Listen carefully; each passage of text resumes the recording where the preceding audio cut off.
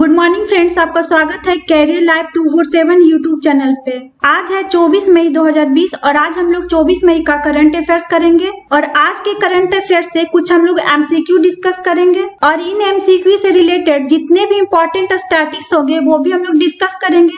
तो फ्रेंड्स आप इस वीडियो को लास्ट तक देखें। लास्ट में मैं आपसे क्वेश्चन पूछेंगे और उसका आंसर आपको कमेंट बॉक्स में बताना है। आज के वीडियो का पीडीएफ आप लोगों को टेलीग्राम चैनल पे अवेलेबल करा दिया जाएगा और इस टेलीग्राम चैनल का लिंक मैंने नीचे डिस्क्रिप्शन बॉक्स में दे दिया है।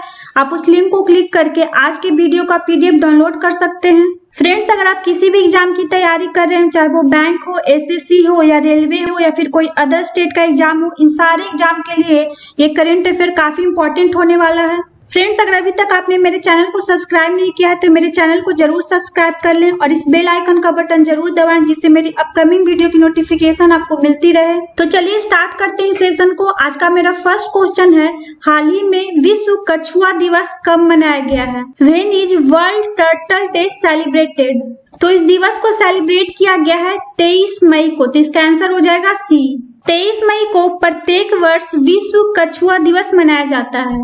फ्रेंड्स अब ये जो विश्व कछुआ दिवस है, यानी वर्ल्ड टर्टल डे है, इसको मनाया क्यों जाता है? तो इसको मनाया जाता है कछुओं के प्राकृतिक आवास के संरक्षण के बारे में जागरूकता फैलाने के लिए। फ्रेंड्स इस दिवस को पहली बार कब मनाया गया था? तो इस दिवस को पहली बार मनाया गया था 2000 में। कब में मनाया गया था?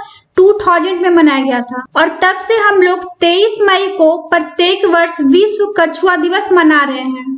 नेक्स्ट क्वेश्चन है। हाल ही में प्रधानमंत्री ने चक्रवाती तूफ़ान से प्रभावित पश्चिम बंगाल और उड़ीसा को कितने करोड़ रुपए की सहायता राशि देने की घोषणा की है? How many crore rupees of aid has been announced by the prime minister to West Bengal and Odisha affected by the cyclone तो ये है एक हज़ार और पाँच सौ करोड़ रुपए। तो इसका आंसर हो जाएगा बी अभी जो चक्रवाती तूफ़ान आया है, अम्फन, उससे सबसे ज़्यादा प्रभावित राज्य है जो पश्चिम बंगाल है। तो अभी प्रधानमंत्री ने पश्चिम बंगाल को एक हज़ार करोड़ रुपए देने का घोषणा किया है और इस चक्रवाती तूफ़ान से ओडिशा राज्य भी प्रभावित हुआ है। इसलिए प्रधानमंत्री ने ओडिशा राज्य को 500 करोड़ रुपए देने का घोषणा किया है। इसके साथ ही चक्रवात की वजह से मृत लोगों के परिजनों को दो लाख रुपए दिया जाएगा और जो घायल हैं, उनको पचास हज़ार रूपए दिया जाएगा। नेक्स्ट क्वेश्चन है, हाल ही में जारी किए गए फोर्स की सूची में शीर्ष कमाई करने वाली महिला एथलीट कौन बनी है? Who became the top grossing female athlete in Forbes list तो यह है नाओमी ओसाका तो इसका आंसर हो जाएगा ए अभी फोर्स की सूची में जो नाओमी ओसाका हैं, वो शीर्ष कमाई करने वाली महिला एथलीट बन गई हैं। और फोर्स के टॉप हंड्रेड की सूची में इनकी रैंकिंग है जो ट्वेंटी नाइन्थ है। कितनी है? ट्वेंटी नाइन्थ है। फ्रेंड्स, जो ये नाओमी ओसाका हैं, वो जापान की टेनिस खिलाड़ी हैं। कहाँ की खिलाड़ी हैं? जापान की टेनिस खिलाड़ी हैं। और इस सूची में सेरेना विलियम्स का 33 रैंक है। कितना है? 33 रैंक है। नेक्स्ट क्वेश्चन है, हाल ही में शांता देवी कानवी का निधन हो गया है, उनका संबंध किससे था? Recently passed away Shanta Devi Kanvi was a famous तो ये है लेखक तो इसका आंसर हो जाएगा बी शांता देवी कानवी एक लेखक थी, जिनका हाल ही में निधन हो गया है। इन्हें कर्नाटक सरकार के द्वारा कर्नाटक साहित्य अकादमी और दाना चिंतामणि अतिम्बे पुरस्कार से सम्मानित किया गया था। तो फ्रेंड्स आपको इनका नाम याद रखना है। इनका क्या नाम था? शांता देवी कानवी। और वो क्या थी? वो एक लेखक थी। नेक्स्ट क्वेश्चन है, हाल ही में भारतीय रिज़र्व बैंक ने एग्जिम बैंक को कितने करोड़ रुपए की लाइन ऑफ़ क्रेडिट देने का फैसला किया है। Reserve Bank of India has decided to give a line of credit of how many crore rupees to Exim Bank तो यह है पंद्रह हज़ार करोड़ रुपए तो इसका आंसर हो जाएगा ए अभी आरबीआई ने अपनी विदेशी मुद्रा संसाधन आवश्यकताओं को पूरा करने के लिए एक्जिम बैंक को पंद्रह हज़ार करोड़ रुपए की लाइन ऑफ़ क्रेडिट देने का फैसला किया है। अब आरबीआई ने इस लाइन ऑफ़ क्रेडिट को देने का फैसला किया है एक्जिम बैंक को। तो हम लोग एक्जिम बैंक से रिलेटेड कुछ स्टैटिस देख लेते हैं। अब हम लोग जानते हैं एक्जिम बैंक के बारे में। एक्जिम बैंक का स्टेब्लिशमेंट कब हुआ था? फ़र्स्ट जनवरी 1982 में कब हुआ था? फ़र्स्ट जनवरी 1982 में। एग्जिम बैंक का हेडक्वार्टर कहाँ है? इसका हेडक्वार्टर है मुंबई। और अभी प्रेजेंट टाइम में एग्जिम बैंक के सीईओ कौन है? डेविड रस्किन क्या नाम है उनका? डेविड रस्किन अब हम लोग जानते हैं आरबीआई के बारे में। आरबीआई का फुल फॉर्म क्या होता है? रिज़र्व बैंक ऑफ़ इंडिया क्या होता है? Reserve Bank of India RBI का स्टैब्लिशमेंट कब हुआ था? फ़र्स्ट अप्रैल 1935 में। आरबीआई का हेडक्वार्टर कहाँ है? इसका हेडक्वार्टर है मुंबई। और अभी प्रेजेंट टाइम में आरबीआई के गवर्नर कौन है? शक्ति कांत दास। कौन है? शक्ति कांत दास। और ये आरबीआई के पच्चीसवें गवर्नर हैं। अभी प्रेजेंट टाइम में आरबीआई के डिप्टी गवर्नर कौन कौन है? श्री बीपी कनुनगो श्री महेश कुमार जैन और doctor M D Patra. Next question है, हाल ही में पीपीई किट का दूसरा सबसे बड़ा निर्माता देश कौन बन गया है? Which country become the second largest manufacturer of PPE kit. तो ये है भारत तो इसका आंसर हो जाएगा डी। अभी भारत है जो पीपीई किट का दूसरा सबसे बड़ा निर्माता देश बन गया है। अब इस पीपीई किट के निर्माण में भारत का जो पोजीशन है सेकेंड पोजीशन है तो फ़र्स्ट पोजीशन किसका है? तो फ़र्स्ट पोजीशन है चीन का। किसका है? चीन का है। अब भारत है जो प्रतिदिन दो लाख पीपीई किट का उत्पादन कर रहा है। कितना दो लाख पीपीई किट का? और ये जो डाटा है, वो स्वास्थ्य मंत्रालय द्वारा प्रदान किया गया है। फ्रेंड्स, अभी प्रेजेंट टाइम में health and family welfare minister कौन है? डॉक्टर हर्षवर्धन जी हैं। क्या नाम है उनका? डॉक्टर हर्षवर्धन। नेक्स्ट क्वेश्चन है, हाल ही में किस राज्य सरकार के द्वारा सबको मिलेगा रोज़गार योजना शुरू किया गया है? Which state government has launch the सबको मिलेगा रोज़गार स्कीम। तो ये है मध्य प्रदेश तो इसका आंसर हो जाएगा बी।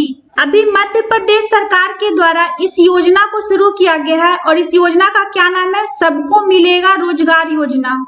इस योजना को प्रवासी मजदूरों को रोज़गार देने के लिए शुरू किया गया है। फ्रेंड्स इस योजना के अकॉर्डिंग जितने भी मजदूर हैं, उन लोगों को मनरेगा जॉब कार्ड वितरित किया जाएगा। अब इस योजना को शुरू किया गया है मध्य प्रदेश राज्य सरकार के द्वारा। तो हम लोग मध्य प्रदेश से रिलेटेड कुछ स्टैटिस देख लेते हैं। अब हम लोग जानते हैं मध्य प्रदेश के बारे में। मध्य प्रदेश का कैपिटल क्या है? भोपाल। और अभी प्रेजेंट टाइम में मध्य प्रदेश के सीएम कौन है? शिवराज सिंह चौहान। क्या नाम है उनका? शिवराज सिंह चौहान। और अभी प्रेजेंट टाइम में मध्य प्रदेश के गवर्नर कौन है? लालजी टंडन। मध्य प्रदेश में असेंबली सीट कितना है? 230 कितना है? 230 मध्य प्रदेश में लोकसभा का सीट कितना है? 29 और राज्यसभा का सीट कितना है? 11 नेक्स्ट क्वेश्चन है, हाल ही में एस्ले कूपर का निधन हो गया है। उनका संबंध किस खेल से था? Ashley Cooper has passed away he was associated with which sport तो ये है टेनिस तो इसका आंसर हो जाएगा सी। एस्ले कूपर थे जो ऑस्ट्रेलिया के टेनिस खिलाड़ी थे और इन्हीं का हाल ही में निधन हो गया है और ये आठ बार के ग्रैंड स्लैम टूर्नामेंट के विजेता भी रह चुके हैं। तो फ्रेंड्स, आपको इनका नाम याद रखना है। इनका क्या नाम था? एस्ले कूपर और ये एक ऑस्ट्रेलियाई टेनिस खिलाड़ी थे। नेक्स्ट क्वेश्चन है, हाल ही में एनटीपीसी ने किसके साथ मिलकर उधम स्थापित करने के लिए समझौता किया है? NTPC has tied up with whom to set up an enterprise तो ये है ओएनजीसी तो इसका आंसर हो जाएगा सी अभी एनटीपीसी ने ओएनजी के साथ मिलकर उद्यम स्थापित करने के लिए समझौता किया है। और इस एग्रीमेंट से दोनों कंपनियों की नवीकरणीय ऊर्जा व्यवसाय को बढ़ावा मिलेगा। फ्रेंड्स अब हम लोग इस क्वेश्चन से रिलेटेड कुछ स्टैटिस देख लेते हैं। अब हम लोग जानते हैं एनटीपीसी के बारे में। एनटीपीसी लिमिटेड का फुल फॉर्म क्या होता है? National thermal power corporation limited क्या होता है? National thermal power corporation limited NTPC का स्टैब्लिशमेंट कब हुआ था? इसका स्टैब्लिशमेंट हुआ था सेवंथ नवंबर 1975 में। एनटीपीसी का हेडक्वार्टर कहाँ है? इसका हेडक्वार्टर है न्यू दिल्ली और अभी प्रेजेंट टाइम में एनटीपीसी के चेयरमैन और एमडी कौन है? गुरदीप सिंह। क्या नाम है उनका? गुरदीप सिंह। अब हम लोग जानते हैं ओएनजीसी के बारे में। ओएनजीसी लिमिटेड का फुल फॉर्म क्या होता है? Wild and natural gas corporation limited इसका स्टैब्लिशमेंट कब हुआ था? फोर्टीन अगस्त 1956 में। ओएनजीसी का हेडक्वार्टर कहाँ है? इसका हेडक्वार्टर है ऊर्ज भवन बसंत कुज न्यू दिल्ली में। ओएनजीसी की अभी प्रेजेंट टाइम में चेयरमैन और एमडी कौन है? शशि संकेर क्या नाम है उनका? शशि संकेर नेक्स्ट क्वेश्चन है, हाल ही में किस देश ने कोविड 19 के कारण अगले तीन दिनों में अपना झंडा आधा फहराने का आदेश दिया है? Which country has ordered its flag to be flown at half stop over the next three days due to COVID 19 तो यह अमेरिका तो इसका आंसर हो जाएगा सी अभी कोरोना वायरस के कारण जितने भी अमेरिकी लोगों का मौत हुआ है, उनकी याद में अमेरिका ने अगले तीन दिनों में अपना झंडा आधा फहराने का आदेश दिया है। अब इस आदेश को दिया गया है यूएसए के द्वारा। तो हम लोग यूएसए से रिलेटेड कुछ स्टैटिस देख लेते हैं। अब हम लोग जानते हैं यूएसए के बारे में। यूएसए का कैपिटल क्या है? वाशिंगटन डीसी यूएसए की करेंसी क्या है? US dollar. यूएसए का लैंग्वेज क्या है? इंग्लिश। और यूएसए की अभी प्रेजेंट टाइम में प्रेसिडेंट कौन है? Donald Trump. यूएसए का लेजिस्लेचर क्या है? कांग्रेस। यूएसए के अपर हाउस को क्या बोलते हैं? सीनेट। और यूएसए के लोअर हाउस को क्या बोलते हैं? House of Representatives. Next question है, हाल ही में वित्त मंत्री ने हरित ऊर्जा उपकरणों के आयात शुल्क में कितना परसेंट की वृद्धि की है? By what percentage had the finance minister increased the import duty of green energy equipment? तो यह 20 परसेंट तो इसका आंसर हो जाएगा बी अभी वित्त मंत्री ने हरित ऊर्जा उपकरणों के आयात के शुल्क में 20 परसेंट की वृद्धि की है। और इस आयात शुल्क में वृद्धि करने का रीजन है, जितने भी उपकरण हैं, उनके स्थानीय विनिर्माण को चलाना है और कम गुणवत्ता वाले चीनी उपकरणों को आयात को कम करना है। ऊर्जा का उपभोग करने में भारत का जो पोजीशन है, वो थर्ड पोजीशन है। और फ़र्स्ट पोजीशन है जो अमेरिका का है, और जो सेकेंड पोजीशन है, वो चीन का है। फ्रेंड्स अभी प्रेजेंट टाइम में फाइनेंस मिनिस्टर कौन है? निर्मला सीतारमन क्या नाम है उनका? निर्मला सीतारमन नेक्स्ट क्वेश्चन है, हाल ही में एयरटेल अफ्रीका ने कोविड 19 से प्रभावित बच्चों और परिवारों की मदद के लिए किसके साथ समझौता किया है? With whom Airtel Africa has tied up to help the children and families affected by COVID-19. तो ये है यूनिसेफ तो इसका आंसर हो जाएगा सी अभी एयरटेल अफ्रीका ने कोविड 19 से प्रभावित बच्चों और परिवारों की मदद के लिए यूनिसेफ के साथ समझौता किया है इस एग्रीमेंट का जो मेन उद्देश्य है, बच्चों को दूरस्थ शिक्षा तक पहुँच प्रदान करना है और जो उनके परिवार है, उन तक नगद सहायता पहुंचाना है। इस क्वेश्चन से रिलेटेड हम लोग कुछ स्टैटिस देख लेते हैं। अभी प्रेजेंट टाइम में एयरटेल अफ्रीका के चीफ एग्जीक्यूटिव ऑफिसर कौन है? रघुनाथ मांडव। क्या नाम है उनका? रघुनाथ मांडव। अब हम लोग जानते हैं यूनिसेफ के बारे में। यूनिसेफ का फुल फॉर्म क्या होता है? United Nations International Children's Emergency Fund क्या होता है? United Nations International Children's Emergency Fund. इसका स्टैब्लिशमेंट कब हुआ था? इसका स्टैब्लिशमेंट हुआ था इलेवेंथ दिसंबर 1946 में। यूनिसेफ का हेडक्वार्टर कहाँ है? इसका हेडक्वार्टर है न्यूयॉर्क यूनिसेफ का पेरेंट ऑर्गेनाइजेशन क्या है? United Nations General Assembly.